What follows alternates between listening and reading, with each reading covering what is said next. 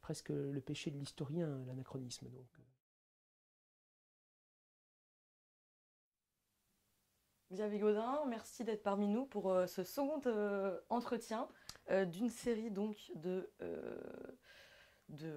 d'interviews qui permettent bah, de mieux connaître les professeurs qui peuplent notre belle faculté. Alors je le rappelle, vous êtes professeur des universités à la faculté de droit de Nantes, directeur du département d'histoire du droit, mais aussi membre de l'équipe pédagogique du parcours franco-allemand. Votre thèse, soutenue en 2004, porte sur la réformation du domaine de la couronne en Bretagne sous le règne de Louis XIV. Alors, première question, et non la moins épineuse à mon avis, pourquoi avoir choisi l'histoire du droit?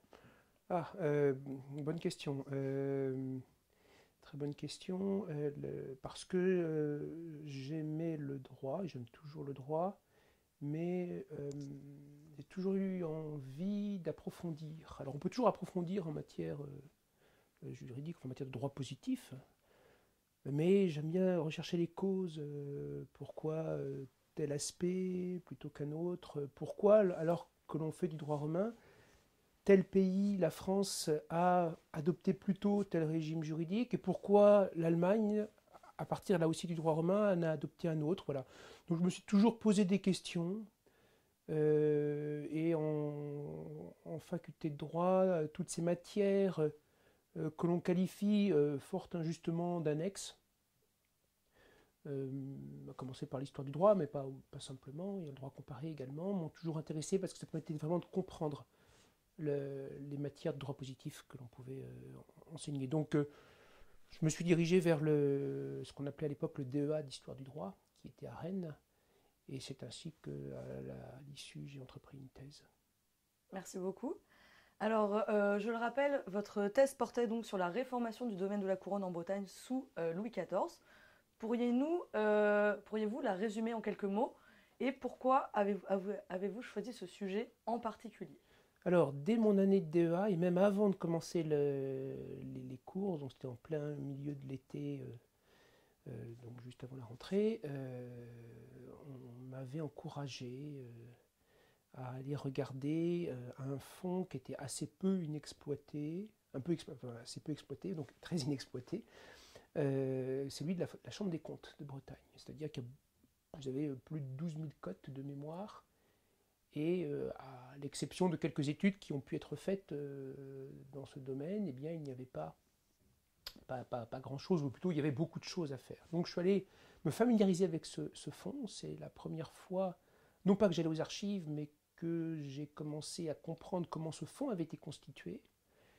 Euh, et par la suite, euh, bien c'est en regardant euh, comment le fonds est constitué, ce qui a pu être fait déjà, pas grand-chose, que j'en suis venu à un sujet, à trouver un sujet, pour un mémoire déjà, qui portait justement sur la réformation. C'est-à-dire, en d'autres termes, ou en, quelques mots, comment est-ce que le pouvoir central dans une province, dans un pays d'État, dans une, province rattaché depuis 1532, comment donc dans la deuxième moitié du XVIIe siècle, le pouvoir central va montrer, démontrer qui est le souverain à partir d'éléments de la féodalité pour pouvoir justement euh, bien, euh, bien signifier euh, à, ce pays d'État qui est le véritable titulaire de la, de la souveraineté. Voilà en, en quelques mots. D'accord, merci. Donc vous avez vraiment euh, fait cette thèse finalement pour les raisons qui vous ont poussé aussi à choisir euh, l'histoire du droit. C'est intéressant. Voilà, et, puis bien sûr, à la suite du mémoire, j'ai entrepris une thèse qui a élargi le, sujet. Merci beaucoup. est-ce que vous avez justement poursuivi dans ce domaine de recherche ou est-ce que vous avez plutôt bifurqué vers d'autres sujets par la suite? Et si oui, pour quelles raisons Alors, la... oui, oui et non. Oui, j'ai continuer à étudier les règles de la domanialité, euh, voilà, ce qu'on appellerait aujourd'hui la domanialité, publique, même si certains éléments de la propriété privée étaient concernés. Mais dans le cadre de cette réformation, il y avait un certain nombre d'éléments de, euh, procéduraux. Et de, comme ce n'était euh, pas quelque chose qui touchait la procédure criminelle, comme ce n'était pas des contentieux criminels, c'était des contentieux civils. Et donc j'ai commencé à toucher, étudier la procédure civile, et c'est à la suite de, cette étude, ou de, cette étude, donc de cette thèse, avec ces éléments sur la procédure civile qui est employée, hein, qu'on qualifierait aujourd'hui d'administrative, sans relancer le débat, euh, eh bien, que j'ai commencé à étudier l'histoire du procès civil, surtout à l'époque moderne. D'accord, merci. Donc, ah. domanialité, oui, faut, euh, domaine de la couronne, oui, mais également euh, justice civile, et puis également certains éléments, certains aspects de l'histoire du droit en Bretagne. D'accord. vous nous avez beaucoup parlé de fond, en nous expliquant votre sujet de thèse, et en effet, parmi les spécificités dans la recherche en histoire du droit, euh, on retrouve principalement la question des sources. Et cela nous amène donc à deux questions. Alors la première, quelles sont finalement les spécificités de la recherche à partir des sources archivistiques Et quel est euh, donc, selon vous, ici, l'intérêt des monographies et des sujets locaux qui peuvent euh, d'un côté sembler un peu nébulés pour les néophytes? Alors, deux questions. La première, euh, quels sont les, quel, est l'intérêt des sujets euh, d'archives? Ben, C'est qu'il reste beaucoup, énormément de choses à faire. C'est-à-dire qu'on a beaucoup de sources imprimées qui sont exploitées, euh, notamment sur le procès civil. vous avez des, champs entiers d'études à, entreprendre. Donc vous avez évidemment les sources imprimées, mais vous avez également des kilomètres d'archives qui dorment dans les dépôts d'archives en France, qui sont là pour pour montrer comment en pratique, parce qu'il y a la théorie, mais comment en pratique le, procès civil fonctionne. Et il y a énormément de choses à faire euh, là-dessus. Donc tout l'intérêt des archives, c'est d'arriver euh, déjà, c'est de prendre conscience déjà que le sujet que vous allez entreprendre, lorsque vous voyez le fond d'archives qui n'a pas été euh, touché, qui, pour prendre un exemple, celui des, des, sacs à procès qui, qui dormaient dans les greniers du Parlement pendant, pendant plusieurs siècles et qui n'ont donc pas été étudié. Donc ça vous fait prendre conscience d'abord qu'il y a euh, un, sujet qui, est à faire. Et, d'autre part, euh, cela vous fait également, euh, ça vous permet de, de pouvoir avancer dans la connaissance du procès civil. Alors voilà pour l'intérêt des sources archivistiques, c'est-à-dire qu'il y a énormément de sujets à faire. Il y a une matière qui est véritablement exploitée. Et pour poursuivre, à quoi sert l'histoire locale?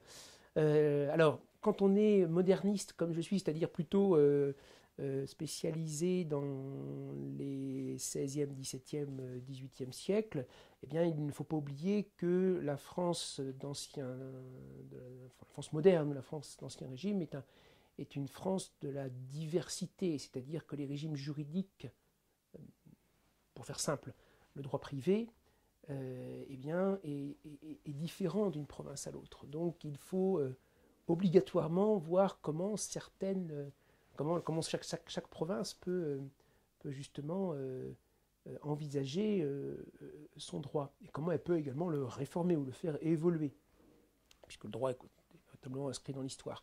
Et il ne faut pas oublier également que c'est le comparatisme entre ces différentes provinces, entre ces différents droits, qui va permettre la, la construction d'un droit français, d'un droit unifié euh, tel que le Code civil euh, peut, le, peut le démontrer. il y a vraiment la, question, il y a énormément de choses à dire, mais j'espère que j'espère que la réponse ah oui, suffit. Parfait, parfait. Euh, et par rapport à ce que vous avez dit, vous avez beaucoup listé finalement les points positifs, je dirais, du travail archivistique. Et à votre avis, la question que j'aimerais rajouter en parallèle, c'est finalement euh, comment peut-être euh, on pourrait surmonter euh, une des principales, un des principaux problèmes en fait des, sources archivistiques, c'est-à-dire la subjectivité des archives. Est-ce que vous avez peut-être un conseil à donner C'est-à-dire comment éviter de, d'avoir une lecture téléologique oui, un peu trop Ah oui, c'est, tout un, danger, c'est-à-dire que les archives sont le produit d'une époque, il ne faut pas leur faire dire ce qu'elles ne disent pas. Euh, et donc, il, y a, il, faut déjà se familiariser avec l'époque, il faut bien comprendre l'époque, c'est-à-dire qu'il ne faut absolument pas être euh, voilà, avec des idées reçues. Euh, et, bah, c'était tout un travail. Je pense qu'il faut justement peut-être lire un, certain nombre d'ouvrages sur le langage. c'est-à-dire qu'est-ce que chaque époque comprend derrière chaque mot, ou chaque mot important. Alors là, c'est tout un programme. Mais évidemment, c'est un, un, risque majeur. Euh, c'est presque le péché de l'historien, l'anachronisme. Donc voilà. Eh ben, merci pour vos précieux conseils. on va passer sur des questions un peu plus larges. comment concevez-vous la place de l'histoire du droit donc dans la recherche et dans l'enseignement en, droit en général mais comme je disais tout à l'heure, euh, pour, partir de, ma propre expérience, c'est parce qu'il y a eu d'autres matières autour des matières de droit, de l'enseignement en matière de droit positif, que euh, j'ai mieux compris le droit qu'on pouvait nous enseigner. Parce qu'il ne faut quand même pas oublier que lorsqu'un étudiant arrive en première année, les trois années de licence, le droit est une matière complètement neuve. Euh, on ne l'apprend pas au lycée, on pourrait presque dire curieusement, et donc, comment voulez-vous vous familiariser avec euh, une nouvelle discipline si vous ne retracez pas déjà son histoire? Euh, C'est-à-dire comment, euh, voilà, comment arriver finalement à sensibiliser quelqu'un au droit si vous commencez tout de suite à lui dire bah, lisez, prenez un code civil et lisez-le du premier article jusqu'à la fin, vous allez le dégoûter. Donc je pense que c'est non seulement une très bonne chose de commencer par l'histoire, pour justement sensibiliser les étudiants à euh, l'enseignement ou même au droit de manière générale. Et d'ailleurs, euh, quand on rencontre euh, alors soit d'anciens camarades ou amis de, promotion, ou même n'importe quel acteur du domaine juridique, soit des notaires, soit des magistrats, soit des avocats, ils ont, des exceptions évidemment, mais ils ont généralement toujours une bonne, un bon souvenir de l'histoire du droit. et ça, veut, ça veut dire que c'est c'est crucial, ces, premières, euh, ces premières années sont cruciales euh, pour véritablement euh, être sensibilisé au droit et voir si ça, si ça nous intéresse. Et donc, je pense que l'histoire du droit est déterminante à, tous égards et elle est tellement importante, ça va presque tellement de soi que c'est justement cette matière qu'on va dire, ben non, on va, n'en a plus besoin. Or, elle est, elle est essentielle. Je pense que beaucoup de mes collègues ne, réalisent pas qu'eux-mêmes, lorsqu'ils ont commencé le droit, ou ils ont oublié, on oublie tous, hein, lorsqu'ils ont euh, commencé le droit, ils ont dû oublier comment ils avaient commencé le droit et comment il avait fallu les amener progressivement à, une technicité, parce que le droit est une, technicité. Euh, moi, je me suis spécialisé dans un contentieux, dans un, droit précis pendant mes études. Euh, eh bien, j'ai, pour prendre un autre exemple, là, c'est fois-ci en master, j'ai bien vu que cette, discipline, le droit social, hein, pour ne pas la nommer, avait profondément évolué. Donc ça montre bien déjà que non seulement le droit est inscrit dans l'histoire, mais le droit a également une histoire. Et donc c'est intéressant de voir comment cette matière, pendant les 10 ou 20 dernières euh, années, a pu évoluer. Euh, et, là aussi, euh, en sensibilisant les étudiants à l'histoire, ça vous montre bien qu'ils vont apprendre une matière qui est appelée à évoluer, qui n'est pas, qui n'est pas statique. Voilà. Je, pense que c'est intéressant. Donc c'est intéressant pour l'enseignement et également pour la recherche, parce que quand on entreprend une thèse sur un, sur un sujet, on ne peut pas commencer euh, comme si, par exemple, tout avait débuté en 1804. C'est évidemment impossible. Voilà, donc un chercheur ne peut pas faire abstraction de toutes les disciplines qu'on appelle faussement, mais que j'utilise par commodité, toutes ces disciplines annexes ou auxiliaires euh, comme euh, l'histoire, naturellement, l'histoire du droit, mais également la sociologie, euh, également la littérature, également bah, la, science du langage, pour revenir à, cela également. Eh bien, merci. En effet, l'histoire du droit n'est donc pas une, branche du droit annexe.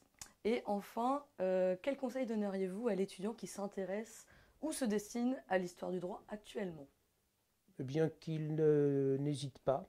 Euh, moi, je me souviens, j'avais hésité. Enfin, j'aimais l'histoire.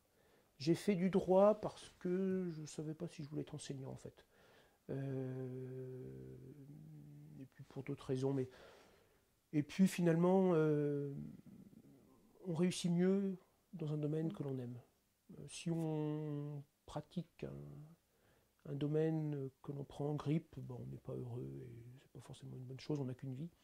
Euh, donc autant faire ce que l'on aime. Et puis que ces étudiantes ou étudiants n'hésitent pas à, euh, aller voir des professeurs euh, d'histoire du droit. C'est ce que j'ai moi-même fait, parce que je n'étais pas sûr.